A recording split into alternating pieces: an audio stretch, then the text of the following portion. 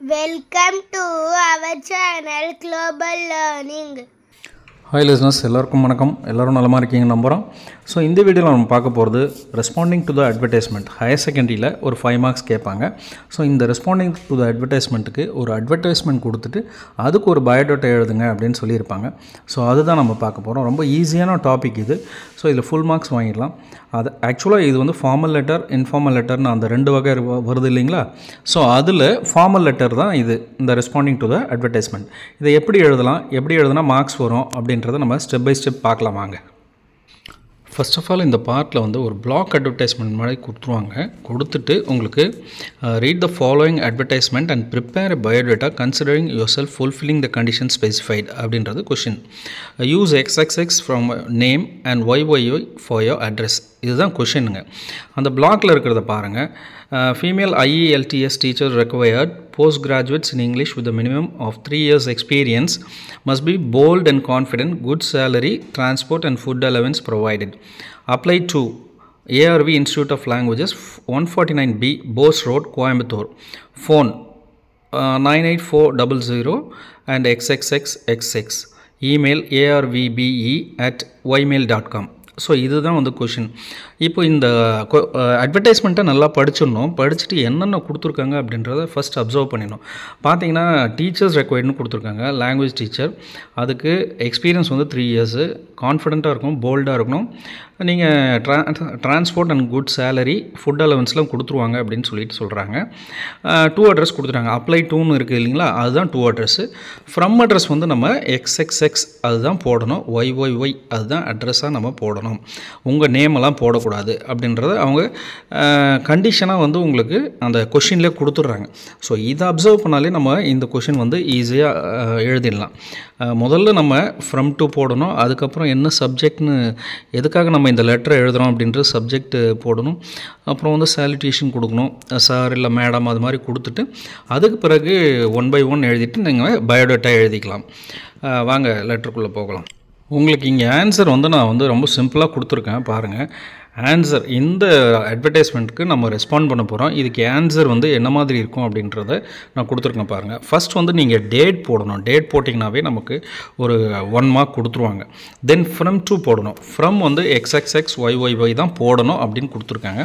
Next பார்த்தீங்கன்னா to address அங்கே கொடுத்துருக்குற அந்த அட்ரஸே எப்போவுமே அந்த கொஷின்லேயே டூ அப்ளை டூ அப்படின்னு இருக்கும். அந்த அட்ரஸை நீங்கள் எழுதிடலாம். அதுக்கு பிறகு சார் சார் என்பது போட்டிங்கன்னா உங்களுக்கு ஒரு ஒன் மார்க் கொடுத்துருவாங்க. சப்ஜெக்டை சேர்த்து. சப்ஜெக்ட் எதுக்காக இந்த லெட்டர் எழுதுறீங்க? அதுதான் நம்ம ஃபார்மல் லெட்டரில் எழுதுவோம். ஸோ லெட்டர் வந்து ரிகார்டிங் ஐஇஎல்டிஎஸ் டீச்சர் இந்த ஜாபுக்காக தான் நாங்கள் அப்ளை பண்ணுறோம் அப்படின்றது நம்ம எழுதிடலாம். தென் ரெஃபரன்ஸ் எதை பார்த்து நீங்கள் இந்த அட்வர்டைஸ்மெண்ட்டை எந்த அட்வர்டைஸ்மெண்ட் பார்த்துட்டு இல்லை எந்த மெயிலில் பார்த்தீங்க இல்லை வந்து நெட்டில் பார்த்தீங்க இல்லை பேப்பரில் பார்த்துட்டீங்க நீங்கள் அட் இது வந்து அப்ளை பண்ணுறீங்க அப்படின்றது ரெஃபரன்ஸ் நாக்ரி டாட் காம் நான் கொடுத்துருக்கேன். இப்போல்லாம் வந்து Naukri dot com link uh, LinkedIn. இந்த மாதிரி வெப்சைட்லேருந்து தான் நமக்கு வந்து ஈஸியாக ஜாப்லாம் கிடைக்குது. என்ன மாதிரி குவாலிஃபிகேஷன் இருக்குதோ நம்ம வந்து ஃபுல்ஃபில் பண்ணி அதை எழுதிட்டோம்னா ஈஸியாக வந்து நம்ம அந்த ஜாபை வந்து வாங்கிடலாம். தென் அடுத்ததாக பாருங்கள் இந்த பாடி ஆஃப் த லெட்டர் நம்ம எழுதுகிறோம் சிம்பிளாக ஒரு த்ரீ லைன்ஸ் தான் கொடுத்துருக்கேன். I saw a ad regarding language teacher இந்த வெப்சைட் நான் உங்களுடைய ஆடை பார்த்தேன் வெப்சைட்டில் லாங்குவேஜ் டீச்சர் தேவைன்னு சொல்லிட்டு. ஸோ ஐ ஆம் அப்ளைங் ஃபார் த சேம் அதுக்காக தான் நான் அப்ளை பண்ணுறேன் I had given my resume below biodata resume curriculum vitae இது மூணுமே ஒன்று தான் நம்மளை பற்றிய சுய குறிப்புகள் தான் இந்த பயோடேட்டா என்பது. அப்போ பயோடேட்டா பிலோன்னு கொடுத்துட்டோம். பயோடேட்டா ஆர் ரெஸ்யூம் என்ன நம்ம நம்மளை பற்றிய டீட்டெயில்ஸ் அவங்களுக்கு தெரியணும் இல்லையா?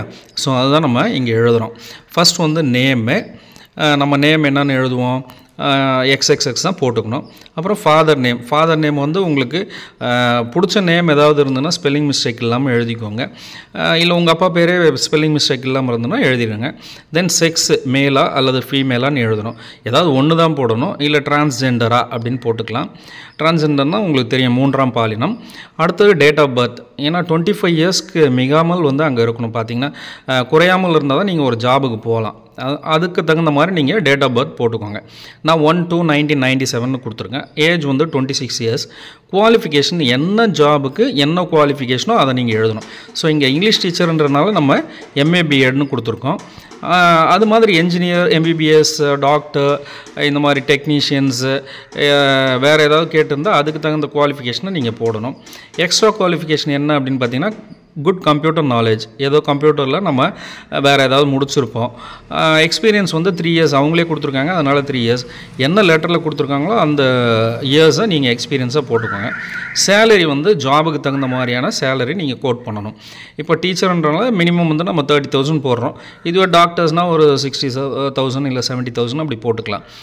மொபைல் நம்பர் நம்ம உங்கள் மொபைல் நம்பர் இருந்தால் கொடுத்துக்கோங்க. இங்கே நான் சும்மா நான் ஒரு டம்மி நம்பர் கொடுத்துருக்கேன். இமெயில் ஐடி அதே மாதிரி உங்களுடைய இமெயில் ஐடி நீங்கள் கொடுத்துக்கலாம். ஸோ இவ்வளோ தான் இந்த பயோடேட்டாவில் இதை தாண்டி நீங்கள் ஏதாவது இருந்ததுன்னா ரிலிஜன் அது மாதிரி வேறு ஏதாவது இருந்ததுனாலும் நீங்கள் எழுதலாம். இல்லைனாலும் பரவாயில்ல. இப்படியே நீங்கள் பயோடேட்டாவை கம்ப்ளீட் பண்ணிவிடுங்க இப்போ பயோடேட்டா நம்ம கம்ப்ளீட் பண்ணியாச்சு. இதுக்கு பிறகு என்ன பண்ணணும் அப்படின்னு பார்த்தீங்கன்னா டெக்ளரேஷன் கொடுக்கணும். நம்ம வந்து கொடுத்தது எல்லாமே வந்து உண்மை. நம்மளை பற்றிய தகவல் எல்லாமே உண்மை அப்படின்றத நம்ம சொல்லணும். The details given below are true to my knowledge என்னை பொறுத்தவரையில் இது எல்லாமே உண்மை. இதில் வேறு ஒன்றும் இல்லை. அப்படின்னு சொல்லிட்டு நம்ம ஒரு டெக்ளரேஷன் கொடுத்துட்டோம். யுவர்ஸ் ட்ரூலி இது கண்டிப்பாக எழுதணும். இதுக்கு வந்து ஆஃப் மார்க் இல்லை ஒன் மார்க் கொடுக்குறாங்க. ஆகையால் யோஸ் ட்ரூலி எக்ஸ் எக்ஸ் எக்ஸ் தான் நம்ம போடணும். அப்படி இல்லைன்னா சைன் பண்ணிக்கலாம் இந்த இடத்துல. ஸோ இதை போட்டுட்டு பிறகு வந்து கடைசியில் இறுதியாக நம்ம எழுத வேண்டியது we have to write address நம்மளுடைய அந்த டூ அட்ரஸ் நம்ம எந்த கம்பெனிக்கு நம்ம அப்ளை பண்ணுறோமோ அந்த டூ அட்ரஸை எழுதிக்கணும். ஸோ அட்ரஸ் நம்ம இங்கே கொடுத்துறோம். இந்த டூ அட்ரஸை ஃபஸ்ட்டும் நம்ம எழுதுகிறோம் லாஸ்ட்லேயும் எழுதுகிறோம் ஸோ அதனால் இதை ஞாபகம் வச்சுக்கோங்க. இது எப்போவுமே வந்து லெட்டர்லேயே கொடுத்துருவான். சில சமயம் மேனேஜருக்கு எழுத வேண்டியதாக இருக்கும். மேனேஜிங் டைரக்டருக்கு எழுதுறதா இருக்கும் பிரின்சிபலுக்கு எழுதுறதா இருக்கும் அது நீங்கள் பார்த்துக்கணும். அந்த எந்த கம்பெனிக்கு தேவைப்படுது எந்த இன்ஸ்டியூஷனுக்கு தேவைப்படுதோ அதுக்கு தகுந்த மாதிரியான பொசிஷனுக்கு நீங்கள் வந்து அப்ளை பண்ணணும். ஸோ அது முடிஞ்சிச்சுங்க அவ்வளோதான் இந்த அட்ரஸ் இந்த என்வலப் முடிஞ்ச பிறகு நம்ம கம்ப்ளீஷனுக்கு வந்துட்டோம். ஸோ இவ்வளோ தான் இந்த ரெஸ்பாண்டிங் டு த அட்வர்டைஸ்மெண்ட் பார்த்தீங்கன்னா ரொம்ப சிம்பிள் இது என்னென்னலாம் நம்ம கொஞ்சம் டிப்ஸு தேவை அப்படின்றதையும் நான் கொடுத்துட்றேன். இது வரைக்கும் யாரும் சப்ஸ்கிரைப் பண்ணாமல் இருந்தீங்கன்னா நம்ம சேனலை சப்ஸ்கிரைப் பண்ணிவிடுங்க ஸோ இப்போ டிப்ஸ் டு ஃபோக்கஸ் பார்த்துடலாம். இதில் முக்கியமாக நம்ம பார்க்க வேண்டியது வந்து ஜாப் என்ன மாதிரியான ஜாப் வந்து கேட்டிருக்காங்க அந்த அட்வர்டைஸ்மெண்ட்டில் அப்படின்னு பார்க்கணும். என்ன வாண்டட்னு அடுத்தது டூ அட்ரஸ் டூ அட்ரஸ் எப்போவுமே வந்து அந்த கொஷின்லேயே இருக்கும். அதை பார்த்துக்கோங்க. யாருக்கு எழுதணும் அப்படின்றது அங்கேயே இருக்கும். மேனேஜரா மேனேஜிங் டைரக்டரா இல்லை பிரின்சிபலா இல்லை வந்து டு த கம்பெனியா அப்படின்றது இருக்கும். நீங்கள் அதுக்கு தகுந்த மாதிரி அதை வந்து கரெக்டாக எழுதிடணும். குவாலிஃபிகேஷன் அது மாதிரி அதிலே சில சமயம் கொடுத்துருப்பாங்க. கொடுக்காமலே அந்த ஜாபுக்கு தகுந்த குவாலிஃபிகேஷனை நீங்கள் எழுதுறதா இருக்கும். சில சமயம் வந்து டாக்டர் நீடட் அப்படின்னு கேட்டிருந்தாலும் நம்ம எம்பிபிஎஸ் எழுதலாம். என்ஜினியர் நீடட் அப்படின்னு கேட்டிருந்தா நம்ம வந்து பிஇ எழுதலாம் இல்லை எம்இ எழுதலாம். ஸோ அந்த மாதிரி சேல்ஸ் பர்சன் அப்படின்னு கேட்டிருந்தா வந்து ப்ளஸ் டூ எழுதலாம் இல்லை எனி டிகிரினா பிஏ எம்ஏ அந்த மாதிரி நம்ம எழுதிக்கலாம். எக்ஸ்பீரியன்ஸை பொறுத்தவரையில் பார்த்தீங்கன்னா அங்கேயே கொடுத்துருப்பாங்க. Two years three years five இயர்ஸ்னு கொடுத்துருப்பாங்க. கொடுக்கல அப்படின்னா நமக்குரிய எக்ஸ்பீரியன்ஸை நம்ம போடுறதுனால தப்பு கிடையாது. ஒரு த்ரீ இயர்ஸ் மினிமம் போடுங்க. டேட் ஆஃப் பர்த் அது மாதிரி பார்த்தீங்கன்னா அவங்க சில சமயம் கொடுத்துருப்பாங்க டுவெண்ட்டி ஃபைவ் இயர்ஸ் மிகாமல் இருக்கணும் அப்படின்னு போட்டிருந்தாங்கன்னா நம்ம அதுக்கு தகுந்த மாதிரி அந்த டேட் ஆஃப் பர்த்தை நம்ம போடணும். நம்ம மன் நம்மளுடைய டேட் ஆஃப் பர்த்தை போட்டுட்டோம்னா தவறாயிடும். அதனால் டுவெண்ட்டி ஃபைவ் இயர்ஸ்க்கு கம்மி இல்லாமல் என்ன இயர் வருதோ அதை போட்டுக்கோங்க. அதே மாதிரி அட்ரஸ் பார்த்தீங்கன்னா வந்து கரெக்டாக எழுதுங்க. அந்த டூ அட்ரஸ் வந்து ஃபஸ்ட்டே நீங்கள் ஃப்ரம் டூ போடுறீங்க இல்லையா? அதே டூ அட்ரஸை இங்கே கடைசியில் இறுதியாக நீங்கள் எழுதும்போதும் எழுதிடணும். ஸோ இவ்வளோ தாங்க ரொம்ப சிம்பிள் இந்த டிப்ஸை நீங்கள் ஃபாலோ பண்ணாலே ஃபுல் மார்க்ஸ் வாங்கிடலாம். இது இல்லாமல் வேறு எதுவும் நீங்கள் ஐடியாஸ் உங்கள் டீச்சர்ஸ் கொடுத்தாலும் நீங்கள் அதை ஃபாலோ பண்ணிக்கலாம். இதில் நம்ம ஃபுல் மார்க்ஸ் வாங்கிடலாம் கண்டிப்பாக இதில் ஒரு விஷயம் சொல்ல மறந்துட்டேன். என்னென்னா சப்ஜெக்ட் அந்த சப்ஜெக்ட் வந்து எதுக்காக எழுதுறீங்க? என்ன ஜாபுக்காக எழுதுறீங்க? அப்படின்றதும் மாறும். அந்த சப்ஜெக்டை கரெக்டாக எழுதிடுங்க. என்னென்னா பொருள். அதாவது இங்கிலீஷ் டீச்சரா இல்லை வந்து சயின்ஸ் டீச்சரா இல்லை வந்து கம்பெனி மேனேஜரா இல்லை டாக்டரா இன்ஜினியரா அப்படின்ற அந்த சப்ஜெக்ட் வந்து கரெக்டாக எழுதிடணும்.